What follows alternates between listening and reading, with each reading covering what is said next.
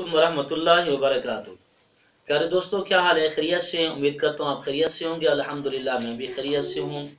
اور آج جو اہم سوال لے کر میں آپ کے پاس حاضر ہوا ہوں، وہ ہر دوست کا سوال ہے۔ ہر دوسرے، تیسرے بندے کا سوال یہی ہے۔ وہ سوال یہ ہے، یار، کام میں برکت نہیں ہے، کاروبار میں برکت نہیں ہے، گھر میں برکت نہیں ہے، سکون نہیں ہے، قرضے اتنا چڑھ گئے ہیں۔ بس کیا بتائیں آپ کو؟ مقروض ہو چکے ہیں۔ اور یہ ہر بندے کے ساتھ، دوسرے، تیسرے بندے کے ساتھ یہ معاملات ہیں۔ لوگ ہمارے پاس آتے رہتے ہیں، سوالات کرتے رہتے ہیں، ہم سے وظائف بھی لیتے رہتے ہیں، مسائل بھی پوچھتے رہتے ہیں اور اپنی پریشانیوں کے حل کے لیے، دعا کے لیے بھی کہتے رہتے ہیں۔ الحمدللہ، ہم آپ کے لیے دعا بھی کرتے رہتے ہیں۔ اور جس دوست نے یہ سوال کیا، بلکہ ایک دوست نے کئی دوستوں نے مجھے یہ سوال کیا، تو میں اس کا جواب دینا چاہتا ہوں آپ کو۔ اگر قرض زیادہ ہو جائے، پریشانیاں زیادہ ہو جائیں، غم زیادہ ہو جائیں، ٹینشنیں بڑھ جائیں، سکون نہ ہو، برکت ختم ہو جائے، تو اس کے لیے کون سا وظیفہ ہے؟ اس کے لیے کون سا عمل ہے؟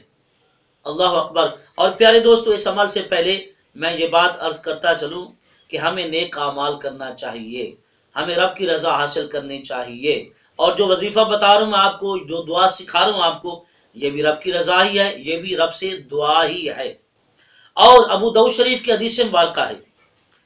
حضرت ابو سعید خدری رضی اللہ تعالی عنہ سے حدیث مبارکہ روایت ہے۔ اگر میں آپ کو کہوں کہ یہ مجرب ہے، تو مجھے یہ الفاظ نہیں کہنے چاہیے کہ یہ عمل مجرب ہے۔ کیوں؟ کیونکہ یہ عمل ایسا ہے جو نبی کریم صلی اللہ تعالی علیہ وسلم نے بتایا ہے۔ اور پھر کن کو بتایا؟ حضور نبی کریم صلی اللہ تعالی علیہ وسلم نے اپنے صحابی کو بتایا۔ میں آپ کو کوئی آج اور وظیفہ نہیں دینے لگا۔ میں آپ کو نبی کریم صلی اللہ تعالی علیہ وسلم کی حدیث کا وظیفہ دینے لگا ہوں۔ تو اس سے مجرب اور کیا ہو سکتا ہے؟ نبی کریم صلی اللہ تعالی علیہ وسلم وظیفہ دے، صحابی عمل کریں، کام نہ ہو، یہ کیسے ہو سکتا ہے؟ ذرا توجہ کیجیے گا۔ آپ مکمل میری بات کو سنیے، سماعت کیجیے۔ آپ کے بھی کام آئے گا، یہ عمل، آپ بھی اس عمل کو کریں، آپ کو بھی ضرور فائدہ ہوگا اور ہر دوست کو ضرور فائدہ ہوگا۔ ایک صحابی حضرت ابو سعید خدری رضی اللہ تعالیٰ عنہ سے حدیث مبارک کا روایت ہے، ابو دو شریف کی حدیث مبارک کا روایت ہے۔ حدیث میرے سامنے موجود ہے، صحابی حضور نبی کریم صلی اللہ تعالیٰ علیہ وسلم کی بارگاہ میں حاضر ہوئے۔ اور یہ حدیث مشکات شریف کے اندر بھی موجود ہے، صفحہ نمبر دو سو پندرہ پر۔ جو پہلے والے ایڈیشن ہیں، ان پر یہ حدیث موجود ہے، صفحہ نمبر دو سو پندرہ پر۔ اور جو وظائف، اوراد ہیں تسبیح و تعلیل کے ان کے اوقات کے اندر یہ حدیث مبارکہ بیان کی گئی ہے۔ اگر آپ چاہیں تو میں حدیث مبارکہ آپ کو سامنے عربی اتن متن بھی پڑھ دیتا ہوں۔ آپ سماعت کر لیجیے تاکہ برکت حاصل ہو جائے۔ وان ابی سعید الخدری قال قال، رجل هموم لازمتنی و دجون، یا رسول اللہ، قال، افلا اعلمك كلاما اذا قلته عذاب الله همك وقضى عنك دينك قال، قلت، بلا، قال قل، اذا اصبحت واذا امسيت اللهم اني اعوذ بك من الهم والحزن واعوذ بك من العجز والكسل واعوذ بك من البخل والجبن واعوذ بك من غلبة الدين وقهر الرجال. قال، قلت، قال، ففعلت ذلك فعذاب اللہ ہمی و قدا عنی دینی رواہ ابو داؤد اب سماعت فرمائیے ایک صحابی نبی کریم صلی اللہ علیہ وسلم کی بارگاہ میں حاضر ہوا کہ عرض کی یا رسول اللہ صلی اللہ علیہ وسلم، مجھے پریشانیوں نے گھیر لیا، مجھے غموں نے گھیر لیا، مجھے قرض نے گھیر لیا، میری ٹینشنیں بڑھ گئی ہیں، تو اس کا کوئی عمل بتائیں۔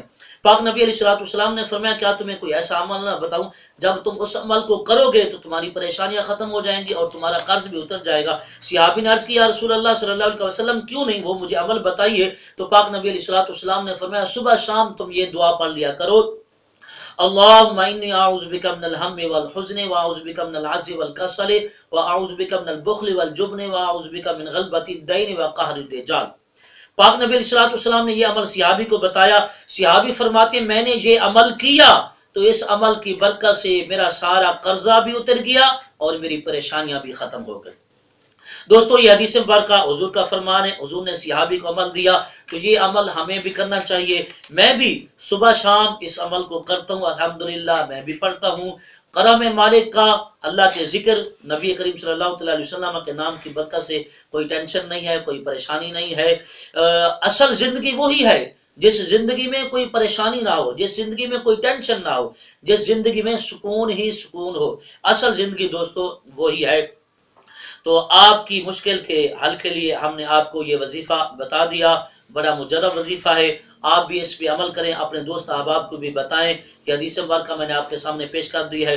مزید آپ کا کوئی سوال ہو، کسی قسم کا آپ نے کوئی وظیفہ لینا ہو یا کوئی مسئلہ پوچھنا ہو، تو آپ کومنٹس میں اپنے سوال کا ذکر کر سکتے ہیں۔ انشاءاللہ العزیز ہم آپ کے سوال کا جواب دیں گے۔ ہمارے چینل کو سبسکرائب کیجیے، بیل ایکن کا بٹن ضرور دبائیے تاکہ آنے والی ہر ویڈیو آپ کو ملتی رہے، آپ دینی معلومات حاصل کرتے رہیں۔